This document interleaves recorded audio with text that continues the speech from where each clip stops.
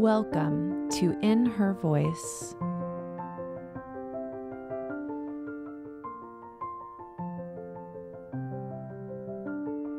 My name is Kelly Covert, and I am passionate about helping women live authentically by listening to their inner voice. Get ready to be inspired by women of all walks of life that have set aside their should be's and not good enoughs and are standing in their true voice, the voice of wisdom that each and every one of us has inside. Welcome to episode number two of In Her Voice with Kelly Covert. I'm so excited to have our very first interview today with Laura Thompson Brady. She is a PhD and the founder of the Nourished Home She's a master coach, a spiritual guide, and a sound healer who helps women awaken to their leadership and creative callings so they can bring more harmony and healing to their families, communities, and larger world we call home. You guys are going to love this interview. We really dig deep into what she calls coming home to your own voice.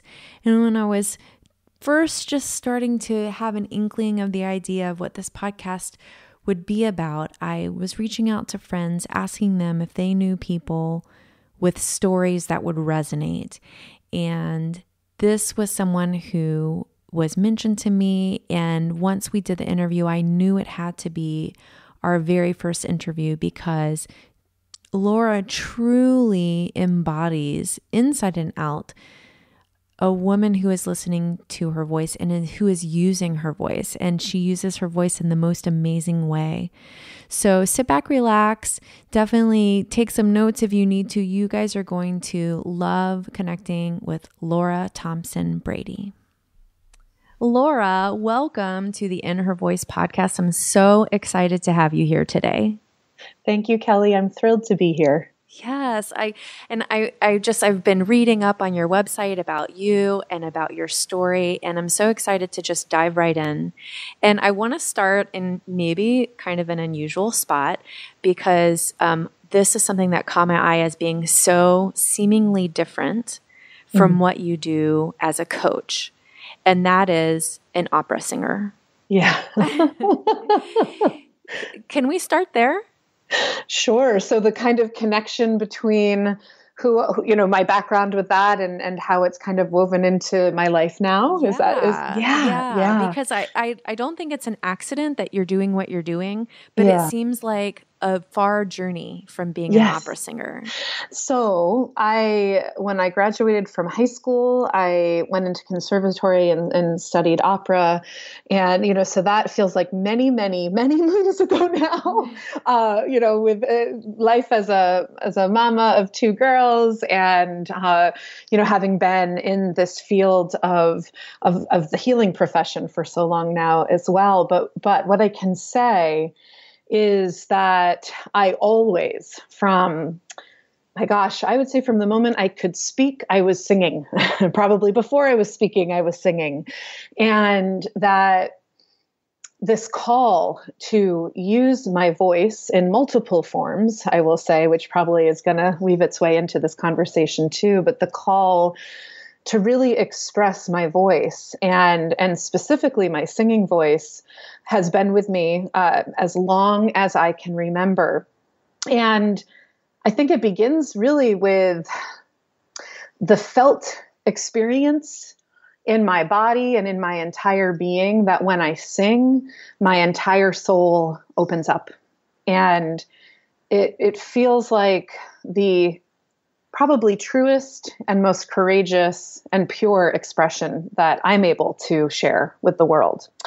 And so of course that took the form you know as a as a kid in school of of performance you know and mm-hmm. and singing in multiple venues multiple styles you know from musical theater to a rock band in high school and that kind of stuff and uh, and a teacher encouraged me to audition uh, for conservatory. I really didn't have a background in classical music, and I got in. And so I just felt like if I don't really follow this and see how it feels and where it takes me, I will always wonder, you know?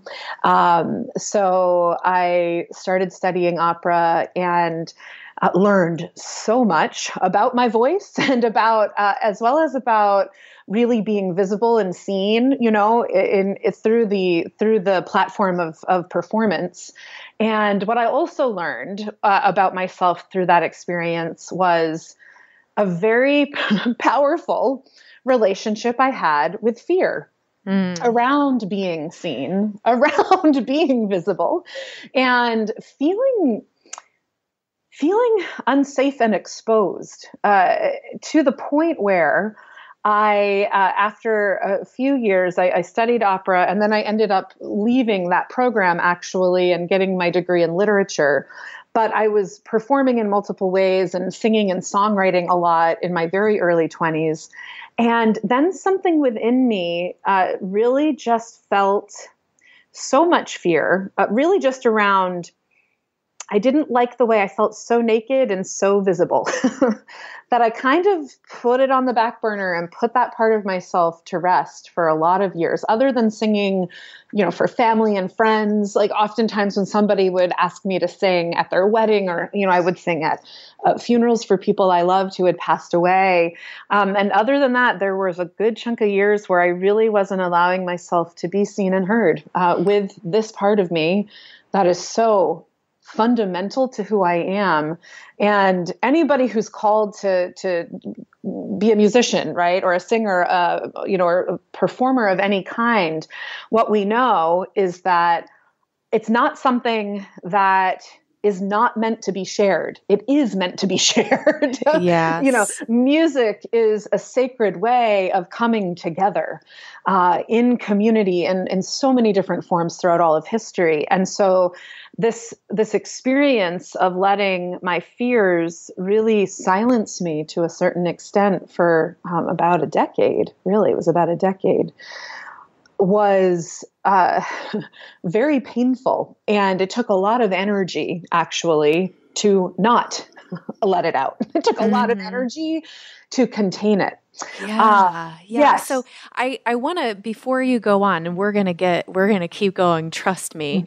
Mm-hmm. Um, I I want to talk. I want to say something and and a question. What I heard you say was that your inner voice, your soul, was mm-hmm. expressed through your singing, mm-hmm. and I think that for many people, the thought of that is incomprehensible. I think so many women just have a hard enough time hearing their inner voice, but to mm-hmm. know that it could come out of you in mm-hmm. that way, I think is fascinating. And mm-hmm. I think then what's so interesting is that when you gave into that fear, all of a sudden your outward connection to that inner voice went silent it, mm-hmm. it stopped connecting there. And mm-hmm. I, I, I, think that that's so interesting that as a child, it was effortless. Mm-hmm. Yeah. But then something shifted and that fear came in. What, what was that about? What was there there that made you feel like you needed to stop that? Yeah. Well, it, so I think it's okay for us to go deep in these kinds of conversations when we're talking about our inner voices and the ways that we can be blocked from hearing them. I, I will definitely say that some trauma that I experienced in adolescence mm-hmm. and literally feeling safe uh, or being confronted with the feeling of not being safe in my femininity, in, um, in being a young woman, what definitely played a role. Mm-hmm. I also felt that there was something even bigger. Uh, beyond my own experiences in this life, beyond the trauma I had experienced in this life, um, it, it felt almost like this tapping in to the collective consciousness of women. And, and this may sound a little crazy but i'm okay with that.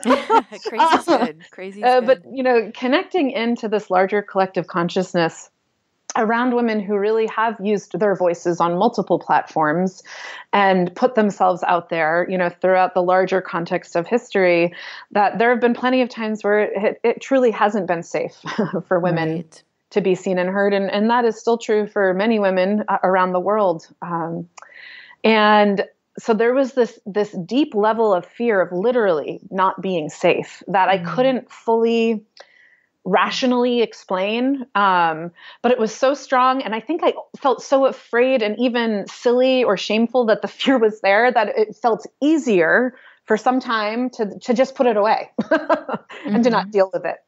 Um, so this, yeah, this fear arose, I would say, through my own experiences and, and again, into something that felt bigger than that. And, uh, and what I will tell you is that there finally came a time, uh, an awakening, uh, and a connection into my inner wisdom and my inner knowing, and, and so therefore my inner voice, where I recognized that, okay, well, say that, even though rationally speaking, my worst fear seems crazy and unlikely. say that it's actually true, that maybe I wouldn't be safe if I really put myself out there with my voice in this bigger way. Well, what I was able to see finally was that the daily experience of not listening to my inner voice, the daily experience of not allowing my soul to be expressed in the ways that were not only most life giving to me, but also a gift to be shared in community. That that was like a slow, painful death, day by day, that I was inflicting on myself. And I finally came to the realization that that slow, painful death, in my opinion, is far worse than any risk I may be taking to use my voice. Yes. To be expressed. Yeah. So that was a true uh, a true moment of of awakening and recognizing that I can give myself the gift of listening deeply, not only to that inner voice, but also letting that voice be a presence in the world. Mm-hmm. And that, um, hey, man, being alive itself is a risk. so, right. right? You woke up, uh oh, you're in trouble.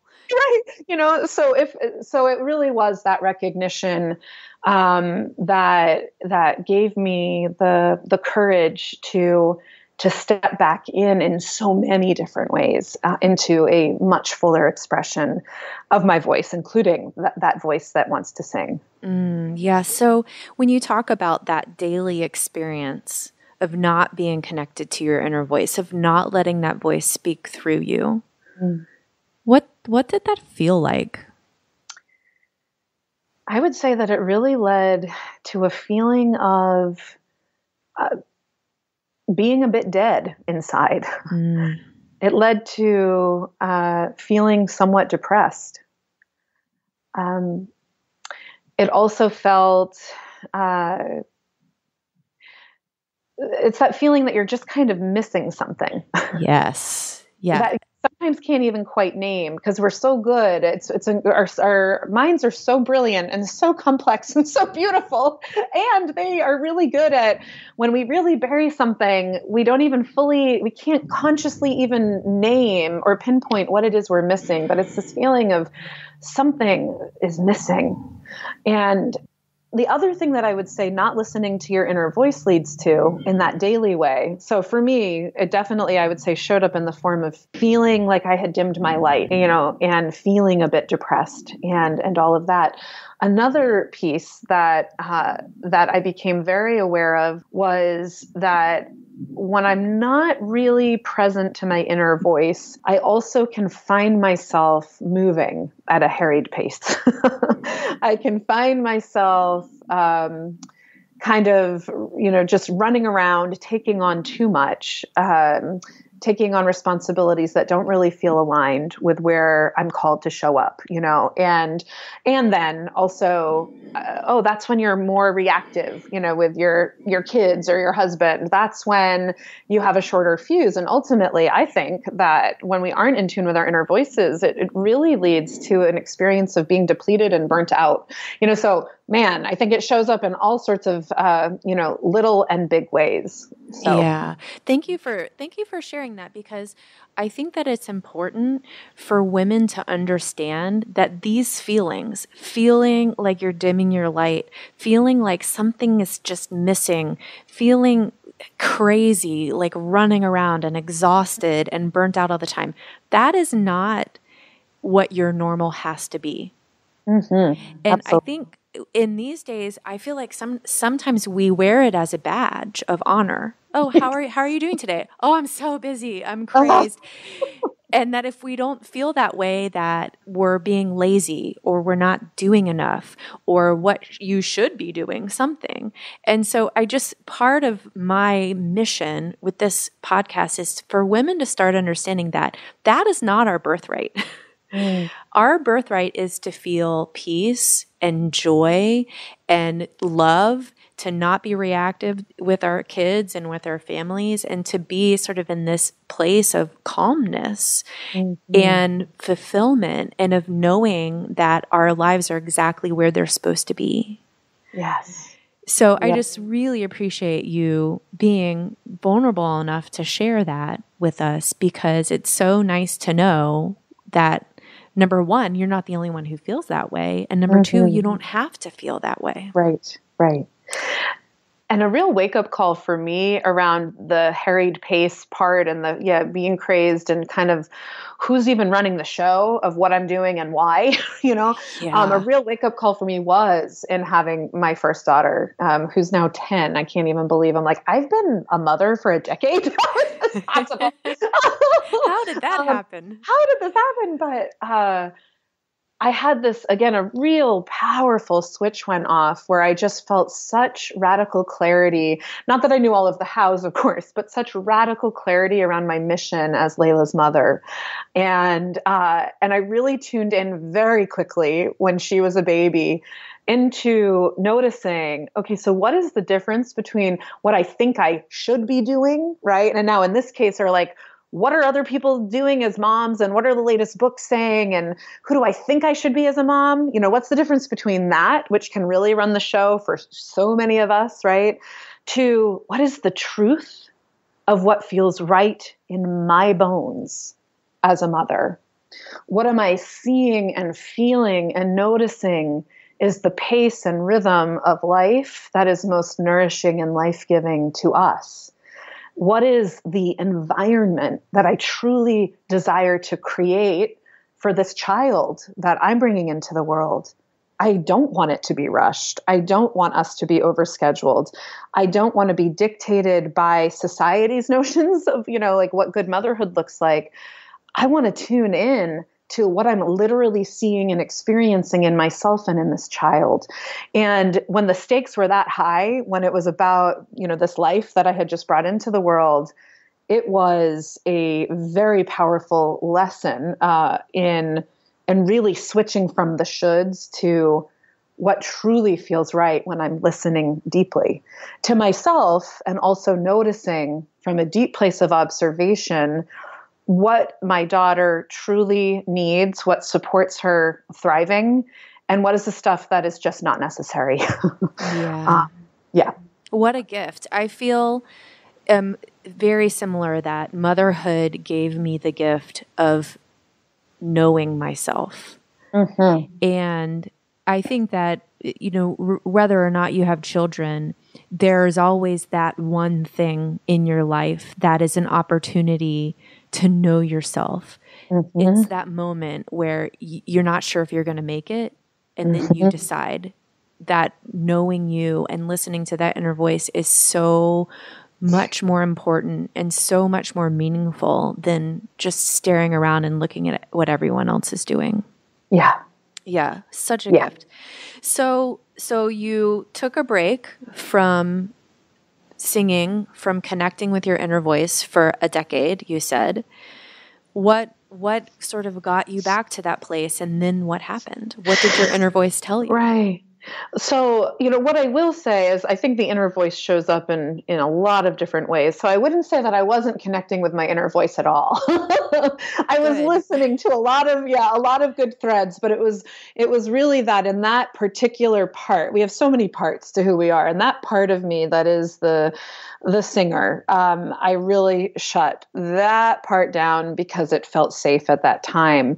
What was clear and and has been clear for me in a very conscious way since I was eight years old when my dad was diagnosed with stage four lymphoma cancer and the journey that we went through as a family with that. What has been very clear to me through my entire life is the ways that I've been called to hold healing space mm. for uh, for myself and others. And uh, so I was not feeling really a lot of courage in the realm of being visible with my voice. What I was, I was led down the path of exploring uh, uh, how can I start the work of deepening into how I might show up in the healing space? And it, it interestingly took the path of academia at first, actually. I uh, started my graduate studies and, and doctoral research in human development and family studies and really with a focus on uh, supporting people in understanding their core values. This was what my dissertation research ended up focusing on. I, I did work with Quaker families actually in the greater Philadelphia area. And I spoke deeply. I had deep conversations with parents and their young adolescent children, and was interested looking at this particular culture within the United States that has a very strong position on nonviolence and how that was transmitted, how those values, those nonviolent values, were transmitted and practiced between parents and children from the micro level of the home, you know, so conflict resolution in the home, how that was practiced in everyday life, all the way out into how they're showing up in community, um, even things like consumer choices, and then out even further into the kind of political scene. At that time, we were at war with Iraq. It was the post 9 11 climate at that time, and was looking at, you know, how they were showing up in regard to supporting nonviolence during a, a, particular time in history. And what I have ended up doing when I was in that uh, process of doing that research, Layla actually was born. Mm-hmm. Um, and I recognized it was another kind of awakening, actually. Um, having kids, I really took some time where I focused in on, and this was a deep, deep inner voice moment of feeling really called to take a leave of absence. Um, I was just at the point of needing to analyze and write the dissertation. Everything else was done. So I was like, all right, I'm going to take a break from that and come back to it and uh, really be present with this child. That was what I felt deeply called to do. And uh, then we had our second daughter, and um, and from there, in in the experience of being their mother, and also in the experience of connecting back into what are the ways that I feel called from that deep inner place to show up and make a contribution outside of motherhood. What does that really look like for me? Where do I think I can be most effective? Where do I think I can ultimately show up as a healer was what I came back to. And uh, so, long story short, I ended up integrating my my studies in human development and family studies, and I did take the time to you know finish my PhD, but I also uh, moved into the world of of coaching, and uh, because I felt so clear that I want to be working directly with women and families and and I want to be really working from a place of helping them see what is possible in their lives, helping them see how they can be rooted in their own core values, how they can live from that place of truly knowing themselves and letting again a go of the shoulds, right. letting go of uh, the script and really connecting into a deeper place of, of who they are as leaders from the private sphere of home um, to the public sphere of the work that we're doing in community. So it all kind of led me on the path to integrate all of this and um, and it's been a really, really interesting journey with lots of ups and downs, and certainly plenty moments of fear too, of continuing to listen to that inner voice and trusting the depths of where it has wanted to take me with my work. Yeah. Um, yeah, yeah. Why? Why do you think it's so scary?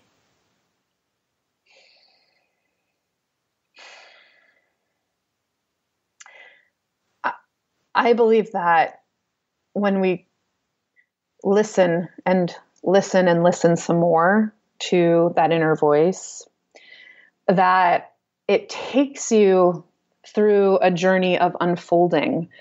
And there's actually a lot of mystery when we're really listening to the inner voice because the inner voice doesn't always tell us how to do it, whatever it may be. So I'll share the example of what brought me back to really incorporating my voice and even some of that opera training into the sound healing work that I do now.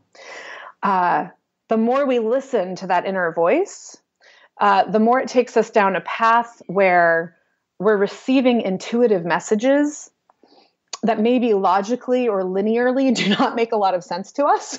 yeah.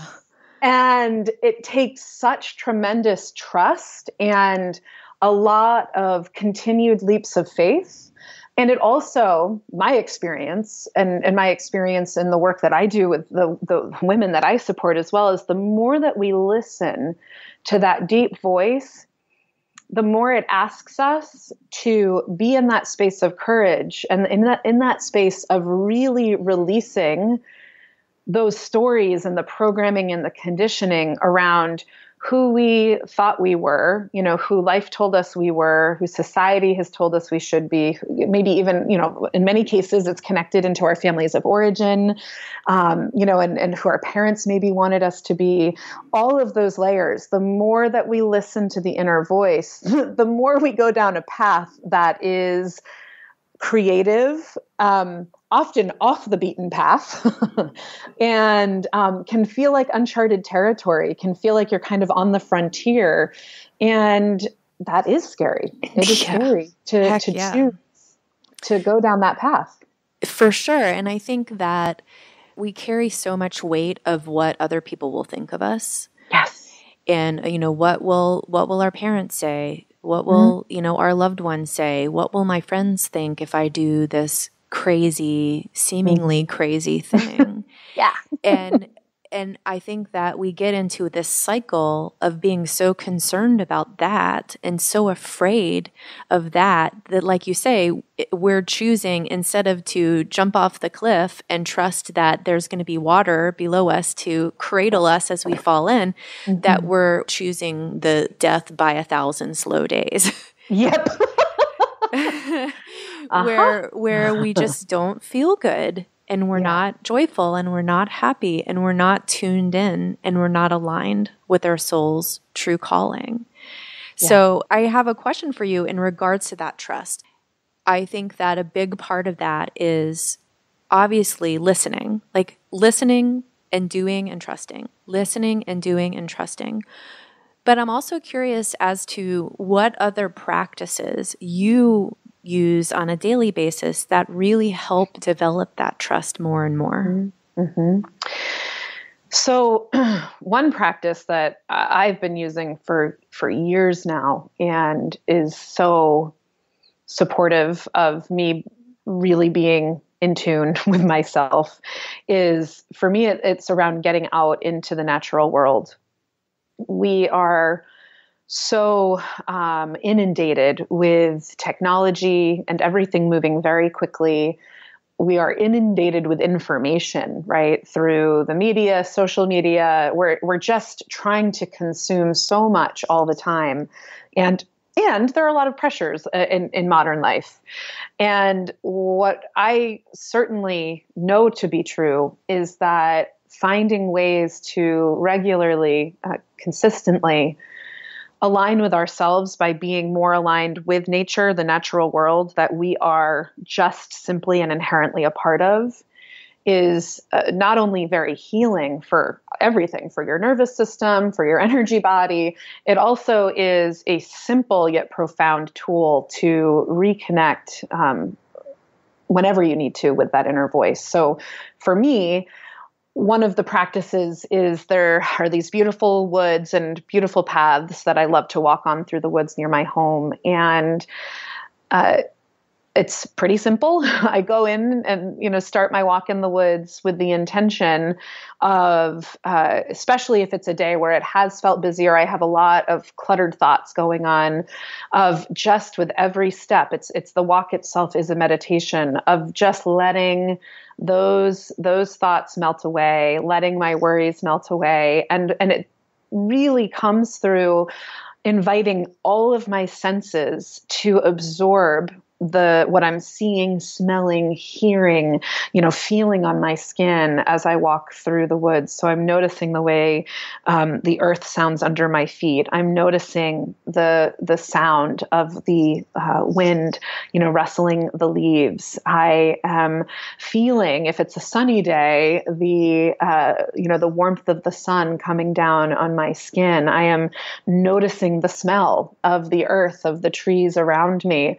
And and when I just allow my myself to be in the presence of of my senses doing the job of of absorbing that natural landscape and moving my body through it, um, it brings me pretty quickly, especially because this is something I do so regularly, into a real state of calm, quiet receiving.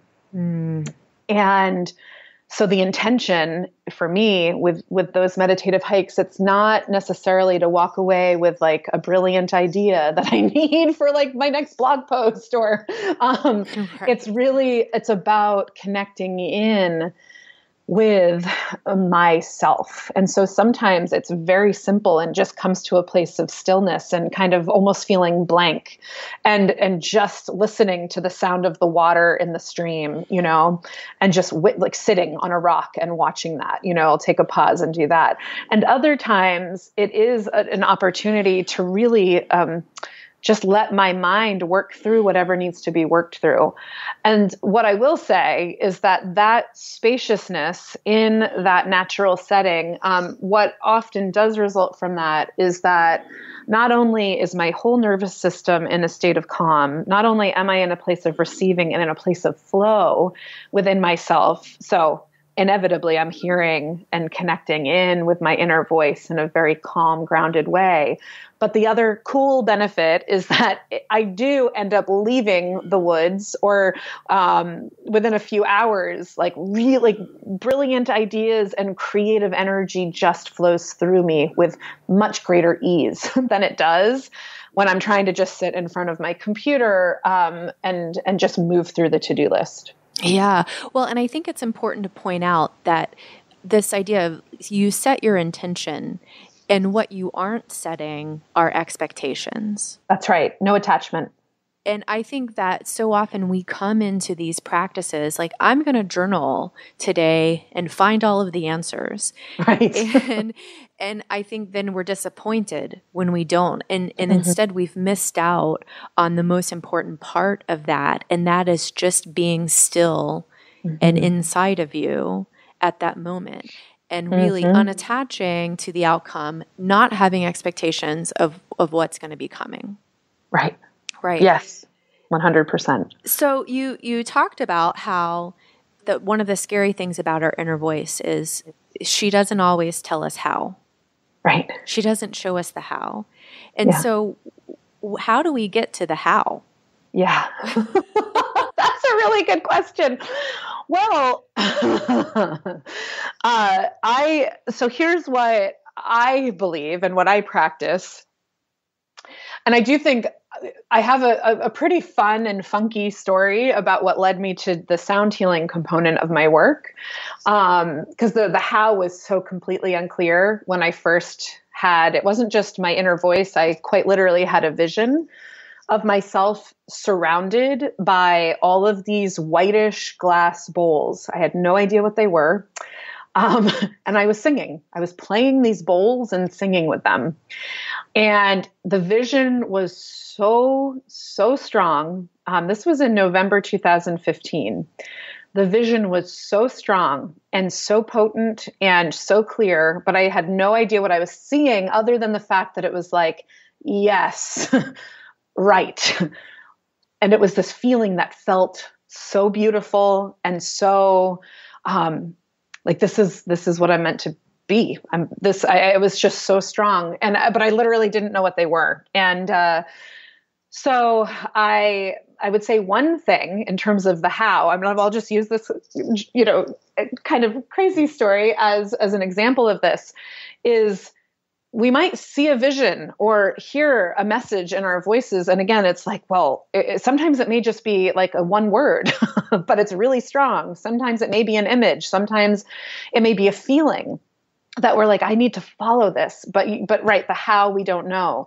One thing that i would encourage you to do is to allow yourself to be uh, surrounded by supportive people who you know want the very best for you so, listening to your inner voice is fundamental. It's kind of the foundation for everything. And at the same time, although one's awakening can only happen within, I also believe that to really initiate ourselves into the awakening, I also believe that we can't do it alone.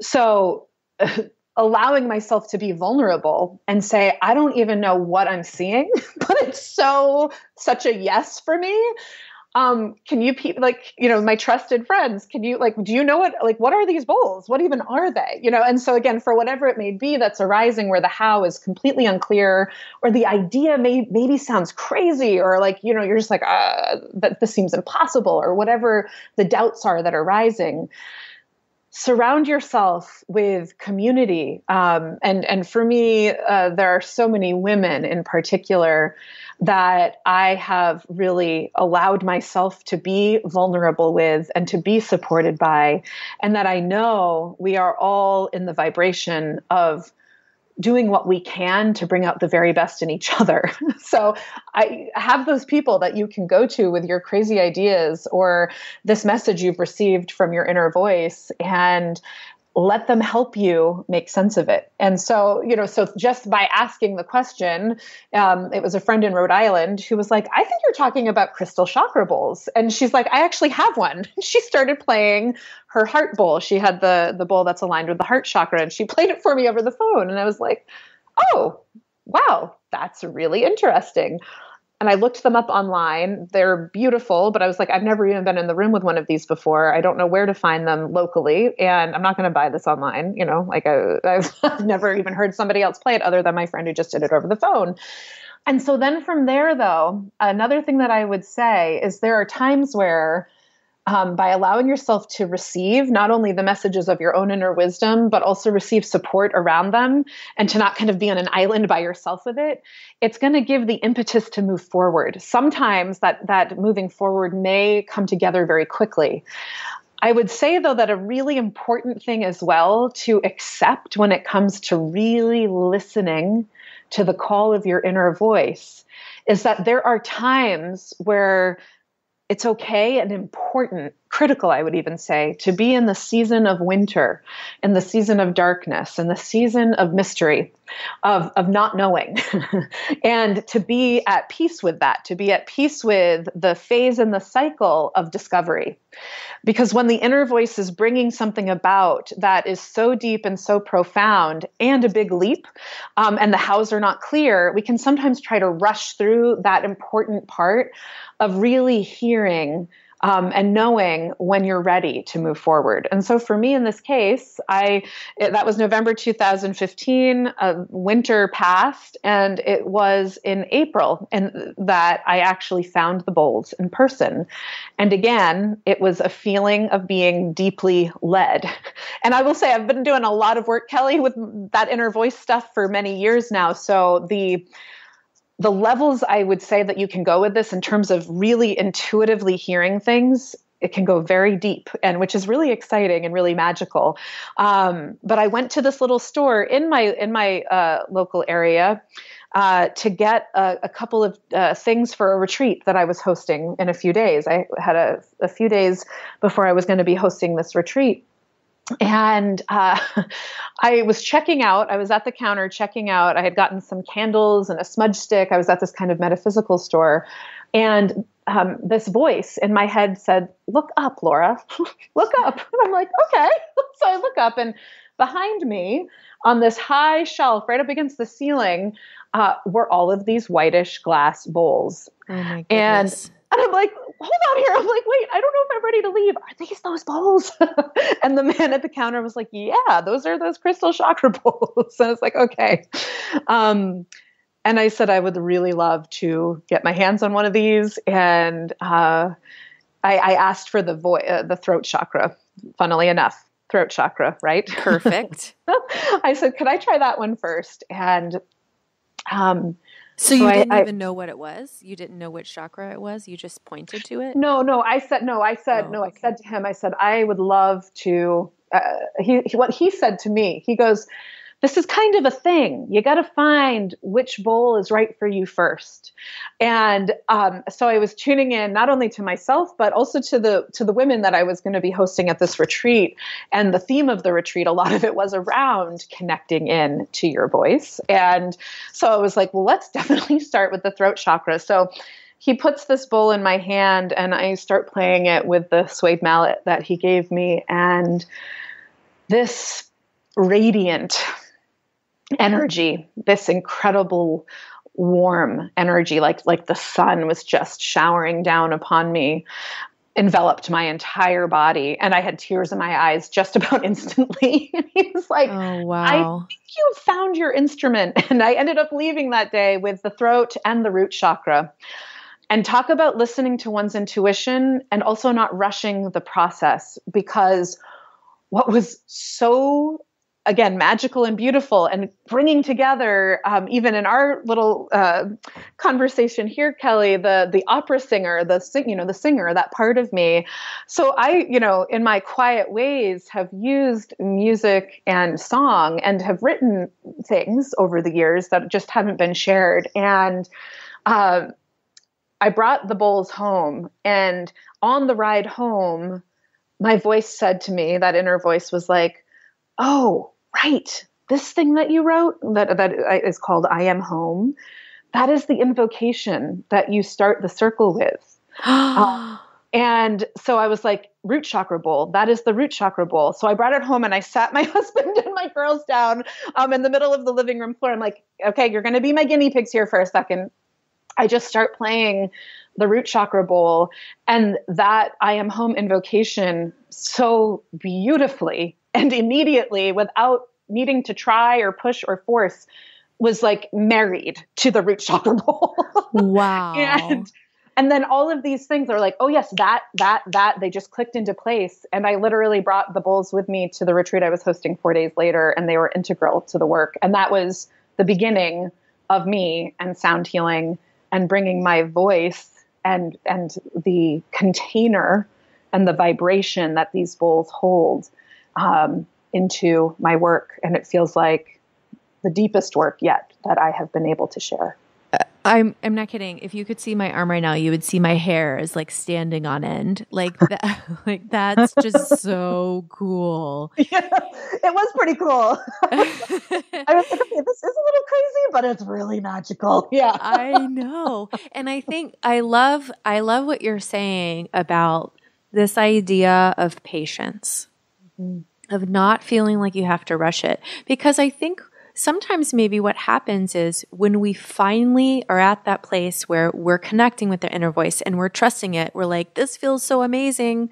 Now I got to go.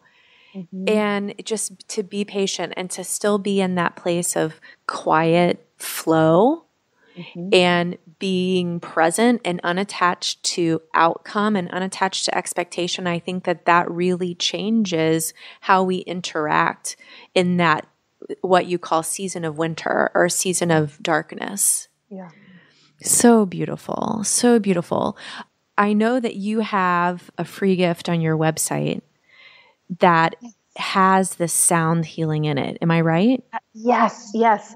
It's called Awakened Woman. And it's a it's a sound healing and guided med. In fact, I share, funnily enough, I share the I am home invocation there, and my intention in sharing that um, with with anybody who feels called to work with the experience of really in your bones coming home to yourself. Here, here's what I'll say: the I am home invocation. The intention of it is to support women or anyone, you know, men, women, children, in having the experience of coming home to themselves at feeling so safe and welcome in their bodies in their beings in this moment just as you are by the way right? Not not in this perfect you know idea that we may have about again who we should be but right here just as you are that the more we can be in the vibration, and I mean that quite literally, um, the what's so powerful about this work with sound, if we think about music, um, it is it has been used in a sacred way, in a healing way, uh, throughout all of history, and and the vibration um, of the of the chakra bowls in combination with uh, you know the the intention that I hold with the music and the mantras that I share um, with my voice is that uh, vibration penetrates, right? Vibration mm. moves water, and yeah. our bodies are made up of a lot of water. and so it brings us uh, quite literally into this vibration of, of being at home within ourselves. And my belief is that when we do the work of coming home to ourselves day after day after day, that the the possibilities that open up for us. And, and, in regard to things like feeling free for me to actually use my voice right?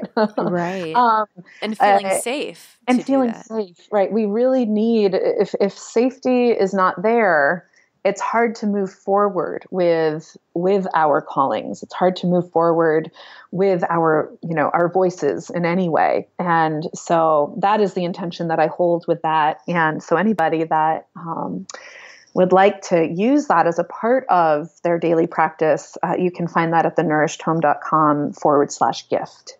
Oh, I can't wait to go. I'm going to go listen as soon as we're okay. done. and also, I'll put that link in the show notes page at kellycovert.com. So if you can remember one or the other, you're good to go. Okay. um, so you guys can all go right over there and download it and check it out and learn more about Laura so, Laura, this has been such an amazing 45 minutes. I just want to honor and acknowledge you and the power that you are carrying through listening to your inner voice. And I'm so grateful that we have women like you who are willing to share your story so we can learn from you. Thank you. Thank you. It's so, so beautiful that you are holding this platform with multiple women and voices coming together to talk about this process because there's so much that's universal about just how desperately we need to be back in connection with our inner voices. And there's so much beautiful variety and richness in the way that each of us comes back to that. So I know that what you're doing is letting so many women know that, you know, they aren't alone, as you said before. Right. And I'm sure that this is inspiring so many people to to be be at home with themselves. Yes, thank you. Thank you. And to learn more about what Laura's up to, you can check out her website at thenourishedhome.com. And where can we find you on the socials? Yes. So um, on Instagram, it's under Laura Thompson Brady. And uh, I do have a page for The Nourished Home on Facebook. And I also have a personal page where I share stuff there as well. And yeah, that's where you can find me. Great. And we'll put links to all of that fun stuff too over on the show notes page. Laura, thank you so much. And I look forward to hearing your voice more and more. And hopefully we can connect soon. Wonderful. Thanks so much, Kelly. I hope you guys loved that interview. It filled my heart with so much joy to connect with Laura and to talk about how she truly found her voice inside and out. It's such a cool story. So I really hope that you'll take the time to go download her gift so you can hear her singing and doing her sound healing. And you can have access to all of that information right on my website, kellycovert.com. Just click on the podcast tab and you will see all of the episodes there. And so this is episode number two with Laura Brady Thompson. And I want to thank all of you for being here, for listening today. I just want to acknowledge you and let you know that you, each and every one of you, are worthy right in this moment. And thank you, thank you for being here. And also, thank you for subscribing on iTunes. We had an amazing launch day Friday, May 12th. So, thank you to all of you who have subscribed already. And if you haven't subscribed, make sure you head on over to iTunes. The link is on the show notes page, or you can just search In Her Voice. It will be the first podcast that comes up. Click on it, subscribe, download all the episodes, and if you're feeling really motivated, leave a rating. I would really appreciate that. So, we will be talking soon, and always know that you matter, your voice matters.